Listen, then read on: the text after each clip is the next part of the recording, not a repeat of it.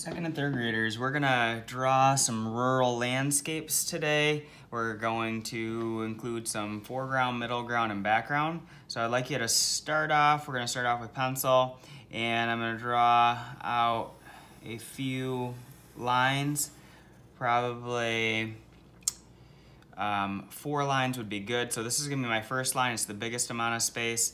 Then I'm gonna do another line that is gonna be a little bit less space. So that's one, two. Then this one's gonna be a little bit closer. And then I'm gonna add a fourth line. This one I wanna do mountains on it. Um, so I'm gonna make this one a little bit more pointed. You definitely do not have to do mountains. We're gonna do, so I've got four lines. Once I have four lines on here, then I'm gonna think about adding some things that are bigger, that are closer. And if I were to draw, for example, a tree right here, it can go right over the lines, but we're gonna remember to erase the line if there's a line in the way. So it looks like the tree would be on top of the line. Once I have that, if I do have like some leaves that I want to put on it. And most of the ideas that I'm doing today are going to be things that I've observed, that, I'm, that I've seen, so that it looks a little bit more realistic. So using my eyes to make it look real. So if there's lines on top of it, then just erase them. And then we're gonna put color on it anyway, so if there's still some lines. Um, I might put um, some lines on here to show a little bit of bark on this tree. And so these things that are a little bit bigger are, are gonna be in the foreground. So if it's a, near you, it's gonna be the biggest amount of space. After that, if I do want to add any details like zigzag lines for grass, you could do that. Um, one other thing is on these lines, I usually will put something. So if I wanted to do something like a barn, because it's a farm, this is gonna be a medium-sized thing because this is a big thing. This is going to be a medium size because it's middle ground. And I'm going to do a little bit of detail. I'm going to put maybe a silo or something next to it. Once I have some details here, if I wanted to have a road that's leading up to it, which I think is kind of a cool idea, you can have a line like this is, if this is a road, this is gonna start off big, then it's going to maybe be more medium so you can see it's inside that line. And then if I wanted to have it go way off into the background, it could go into small. So these lines that could be on this dirt road could be bigger. These ones could be medium and these ones could be tiny, okay? Um, I often like to do things like a fence. So I could have details here that could be fence posts, and then connect those fence posts to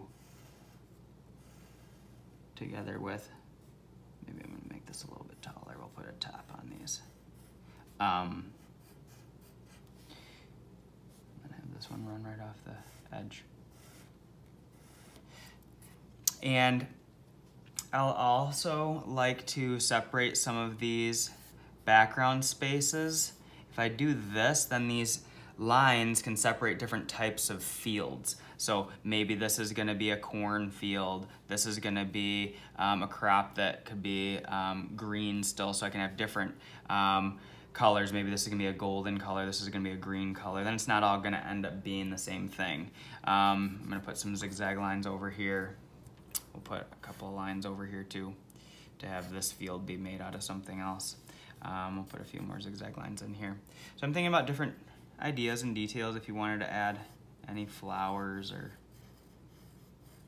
additional things, feel free. Um, I'm gonna put some snow up on these mountains. I'm gonna put a few smaller hills underneath that.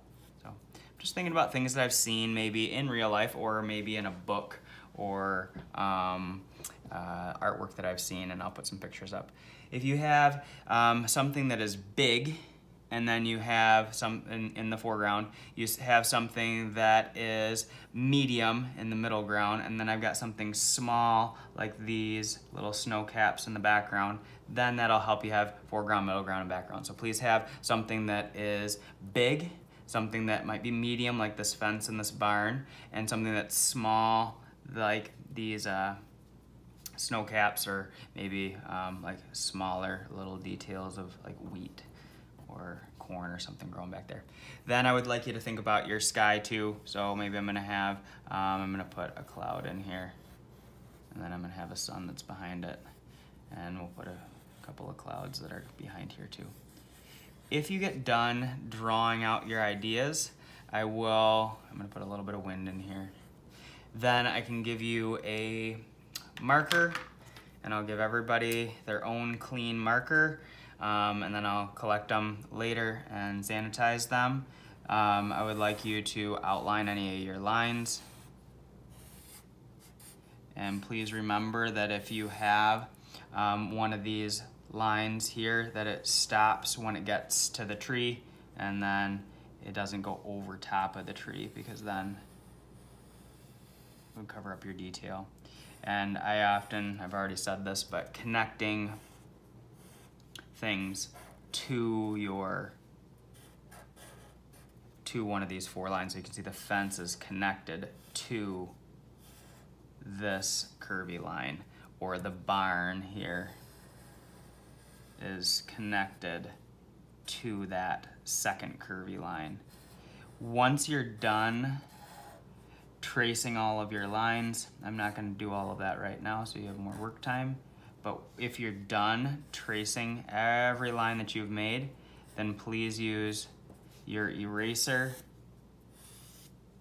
and I would like you to erase any of the remaining pencil. So like this line I missed right there, so then I can just take my eraser and I can erase out any of that pencil. If you have a bigger eraser that's not on your pencil, that would probably be a better eraser to use so you don't just wear out all your pencil eraser. But if you get done early, please erase that out. And then we'll work on coloring it next time.